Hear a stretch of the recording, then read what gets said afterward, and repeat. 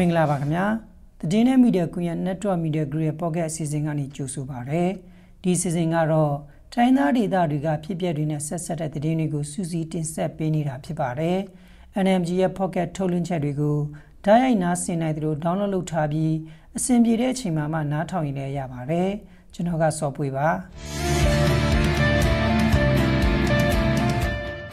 အခုတင်ဆက်ပေးမယ့်သတင်းတွေကတော့ စစ်ကောင်စီရဲ့စစ်မှုထမ်းဥပဒေကြောင့်တောင်ကြီးကိုရောက်ရှိနေတဲ့ဂရနီစစ်ဘေးရှောင်တွေစစ်မှုထမ်းရမှာကိုစိုးရိမ်နေကြပါတယ်။ရှမ်းပြည်နယ်တောင်ပိုင်းစီဆိုင်မြို့နယ်ထဲမှာ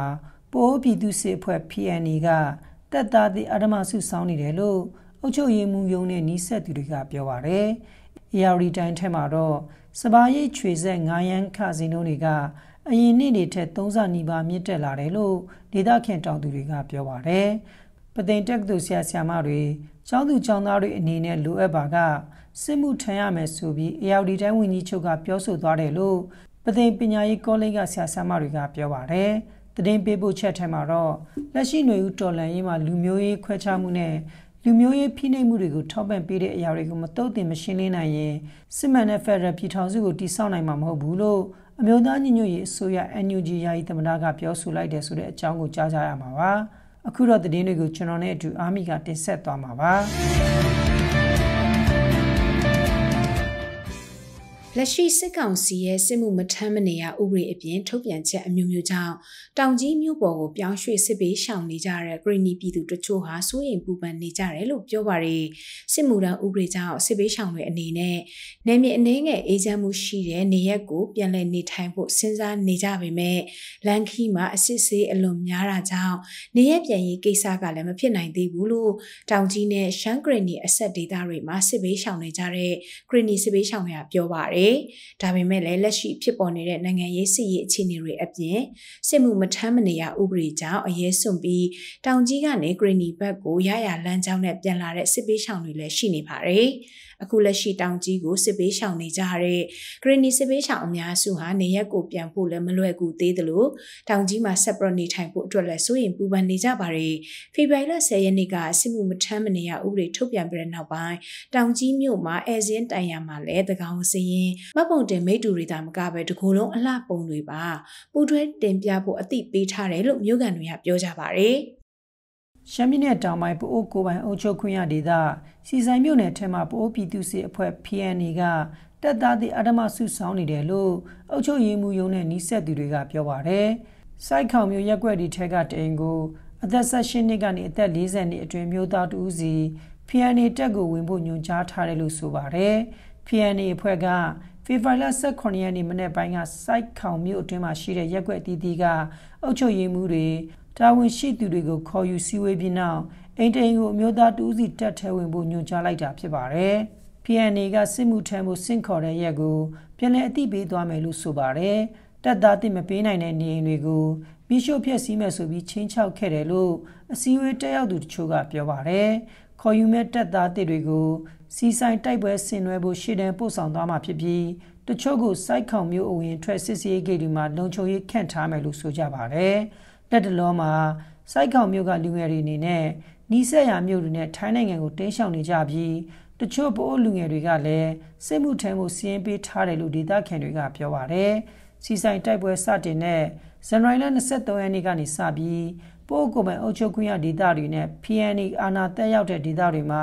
တပ်သားသည့်အာဓမစုဆောင်မှုတွေရှိနေတယ်လို့ဆိုပါတယ်။ မြန်မာနိုင်ငံရဲ့ဆန်စပါးအများဆုံးစိုက်ပျိုးထုတ်လုပ်တဲ့အရာတွေတိုင်းအတွင်းမှာစပါးရိတ်ချွေဇက်ငါးရန်ကဈေးနှုန်းတွေအရင်နှစ်ကထက် သုံးဆနီးပါးမြင့်တက်လာတယ်လို့ဒေသခံတောင်သူတွေကပြောပါရယ်အရင်နှစ်ကမိုးစပါးရိတ်သိမ်းတဲ့အချိန်မှာတအေကကိုကျပ်4000ရှိခဲ့ရာကနေ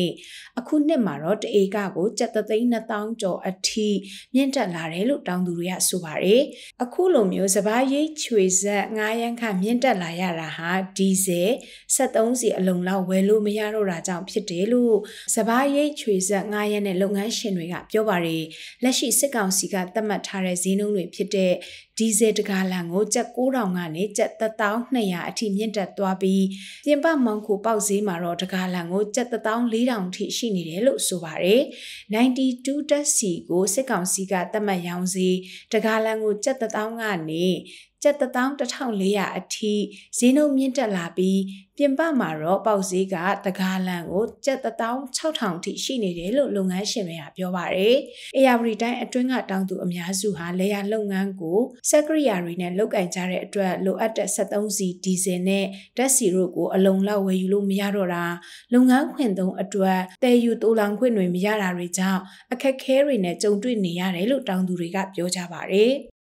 ARD တိုင်းဝန်ကြီးချုပ်ဦးတင်မောင်ဝင်းကပသိမ်တက်ကသိုလ်ကောလိပ်နဲ့ဤပညာတက္ကသိုလ်ဆရာဆရာမတွေကျောင်းသူကျောင်းသားတွေကိုလိုအပ်ပါကစစ်မှုထမ်းရမယ်ဆိုပြီးပြောဆိုသွားတယ်လို့ပသိမ်ပညာရေးကောလိပ်ကဆရာဆရာမတွေကပြောပါတယ်စစ်ကောင်စီအဖွဲ့ဝင်လည်းဖြစ် ARD တိုင်းစစ်ကောင်စီအဖွဲ့ဝင်ဝန်ကြီးချုပ်လည်းဖြစ်သူဒုတိယဗိုလ်ချုပ်ကြီးဟောင်းတင်မောင်ဝင်းက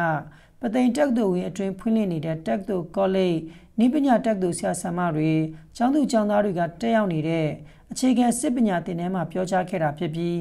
အဲ့ဒီပြောဆိုမှုကိုတော့ဖေဖော်ဝါရီလ9ရက်နေ့ကပြောကြားခဲ့တာဖြစ်ပါတယ်။စစ်ကောင်စီရဲ့ဝါဒဖြန့်လူမှုကွန်ရက်စာမျက်နှာတချို့မှာတော့ပသိမ်တက္ကသိုလ်ပညာရေးကောလိပ်ဤပညာသိပ္ပံတက္ကသိုလ်နဲ့ကွန်ပျူတာတက္ကသိုလ်ကဆရာဆရာမတွေနဲ့ကျောင်းသူကျောင်းသားတွေကသူတို့ဆန္ဒနဲ့စစ်တင်နဲ့တက်ရောက်ကြတယ်လို့တပ်ပုတ်တွေတင်ပြီးဝါဒဖြန့်နေကြပါတယ်။ ပသိမ်ပညာရေးကောလိပ်ကဤပညာဆရာဆရာမတွေနဲ့ဆရာမလောင်အများစုကအခြေခံစစ်တင်တဲ့ကိုမတက်ချင်မဲ့မဖြစ်မနေတက်နေကြရတာဖြစ်ပြီးကျန်တက္ကသိုလ်တွေကဆရာဆရာမနဲ့ကျောင်းသူကျောင်းသားတွေလည်းကျောင်းအုပ်ကြီးတွေကတက္ကသိုလ်လိုက်မေဂျာအလိုက်ခွဲတန်းချပေးပြီးစစ်တင်နဲ့တက်ခိုင်းနေတာဖြစ်တယ်လို့တက္ကသိုလ်ကဆရာမတူကပြောပါတယ်အခုတော့သတင်းပေးပို့ချက်ကိုကြားကြရမှာပါ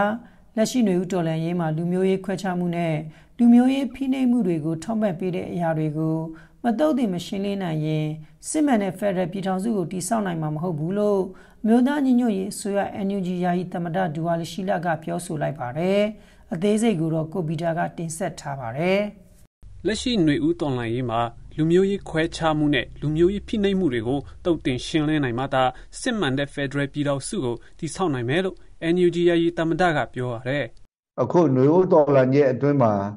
ကျွန်တော်တို့ဟာလူမျိုးရေးခွဲခြားမှုနဲ့လူမျိုးရေးဖိနှိပ်မှုကိုထောက်ပံ့ပေးတဲ့အတွေးခေါ်အယူဆတွေကိုပြန်လဲတုတ်တင်ရှင်းလင်းပြဖို့လိုပါတယ်ဒါမှသာစစ်မှန်တဲ့ Federal Democracy ပြည်ထောင်စုတည်တည်ဆောက်ရေးဟာခိုင်ခိုင်မာမာပေါ်ထွက်လာမှာဖြစ်ပါတယ်ကျွန်တော်တို့ဟာ တော်လန်ကြီးအတွက်လည်းအားထုတ်ကြရမှာဖြစ်တယ်လို့တည်ဆောက်ရေးအတွက်လည်းအမျှော်မြင်တွေးခေါ်ထားကြရမှာဖြစ်ပါတယ်ဒါအပြင်အနာဂတ်ပြည်ထောင်စုတဲ့အတွက်ကြိုတင်လှုပ်ဆောင်ထားရမယ်အရေးအရာတွေများကိုရှိနေတယ်ဆိုတာကိုမမဲ့တင်ဘူးလို့ထင်ပါတယ်ပင်လုံနှစ်တာရကိုဖော်ဆောင်နိုင်တဲ့ပြည်ထောင်စုစိတ်ဓာတ်ဟာမဟာလူမျိုးကြီးဝါဒနဲ့ စစ်အာဏာရှင်စရိုက်ရဲ့ဖြစ်စည်းမှုကိုခံခဲ့ရတဲ့အပြင်လူမျိုးရေးခွဲခြားမှုနဲ့လူမျိုးရေးဖိနှိပ်ခံရမှုတွေကိုနှစ်ပေါင်းများစွာခံစားလာခဲ့ကြရတယ်လို့ NUG ယာယီတမ္မဒဒူဝါလရှိလာကပြောရတယ်တန်းတူညီမျှမှုနဲ့အတူတကွငြိမ်းချမ်းစွာပေါင်းစည်းနေထိုင်ခြင်းဆိုတဲ့အနှစ်သာရဟာစစ်အာဏာရှင်အစိုးရလက်အောက်မှာပြတ်တုံးခဲ့ကြရတယ်လို့ NUG ယာယီသမ္မတကဆိုပါတယ်။ ဒါ့အပြင်လူမျိုးရေးခွဲခြားမှုနဲ့လူမျိုးရေးဖိနှိပ်ခံရမှုတွေကိုနှစ်ပေါင်းများစွာခံစားလာခဲ့ကြပြီးလူမျိုးရေးခွဲခြားမှုဟာကြီးမားတဲ့ထက်ကြီးမားလာခဲ့တယ်လို့ပြောပါတယ်။ကျွန်တော်တို့ဟာခုချိန်မှာအတိတ်ကကြုံဆုံခဲ့တဲ့သင်္ကန်းစာဟောင်းတွေကိုပြန်လည်ဆင်ခြင်ကြဖို့တောင်းရှိပါတယ်။ဒါ့အပြင်ဆယ်စုနှစ်ချီပြီးကြည့်မြင်နားလည်နိုင်တဲ့မိမိတို့ရဲ့နိုင်ငံရဲ့အမျှော်မြင်ကိုလည်းဆန့်ထုတ်ဖို့လိုအပ်ပါတယ် လူမျိုးပေါင်းစုံစုစည်းနိုင်တဲ့နိုင်ငံတစ်ခုမှာကျွန်တော်တို့ရင်သွေးကသဘောထားကြီးမှုကိုမဖော်ထုတ်နိုင်ရင်ကျွန်တော်တို့ဟာငြိမ်းချမ်းသောစီလုံးတော်လူပေါင်းဖွဲ့စည်းကိုတည်ဆောက်နိုင်မှာမဟုတ်ပါဘူးကျွန်တော်တို့ရဲ့ရင်သွေးမှာလွတ်လပ်ခြင်းနဲ့တရားမျှတခြင်းကိုကင်းအောင်ဖြစ်တည်စေဖို့အထူးလိုအပ်ပါတယ်အဲ့ဒါပြင်ဒန်းတူညီမျှမှုနဲ့ကိုယ်ပိုင်ပြဋ္ဌာန်းခွင့်ကိုအလဲနဲ့ထားကြဖို့ အထူးအရေးကြီးပါတယ်ကျွန်တော်တို့ရဲ့နှလုံးအိမ်ထဲမှာဘူကြစိုးမိုးခြင်းတဲ့စိတ်နိုင်ထက်စိတ်နဲ့လုပ်ချင်တဲ့စိတ်ခွဲခြားဆက်ဆံခြင်းတဲ့စိတ်တွေရှိနေတယ်ဒါတွေကိုအာနာရှင်စရိုက်ချုပ်ငင်းရဲနဲ့အတူတပါးဒီချုပ်ငင်းစေဖို့လိုအပ်ပါတယ်ပြည်ထောင်စုတစ်ကိုတိဆောက်တဲ့နေရာမှာအာမခံချက်ရှိတဲ့ဒန်းတူညီမျှမှုနဲ့အာမခံချက်ရှိတဲ့ကိုပိုင်ပြတ်တန်းခွင့်တွေကိုအလေးနက်ထားတိဆောက်နိုင်မှသာအောင်မြင်နိုင်မှာဖြစ်တယ်လို့ဆိုပါတယ်။ ဒါ့အပြင် ဒီမိုကရေစီအခွင့်အရေးတွေနဲ့ အာမခံချက်ရှိတဲ့ နိုင်ငံသားလွတ်လပ်ခွင့်တွေကိုလည်း အလေးအနက်ထားပြီးတိဆောက်မှသာ စစ်မှန်တဲ့ ပြည်ထောင်စုတစ်တိဆောက်ရေးကို အကောင့်ထဲပေါ်ဆောင်နိုင်မှာဖြစ်တယ်လို့ ပြောပါတယ်။